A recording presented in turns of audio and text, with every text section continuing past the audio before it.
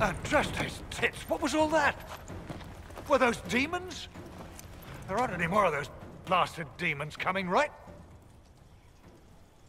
Good eye. Those were definitely demons. Maker bless me. Demons? How could there be demons in the fucking Winter Palace?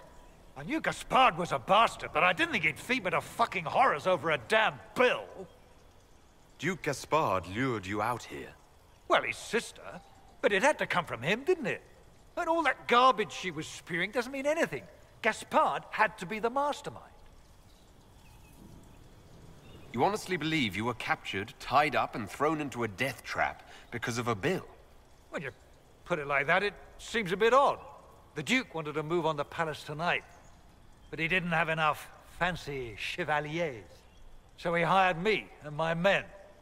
He had to offer us triple our usual pay to come to Orlais. Stinking punsy cheesemongers. Want a new job?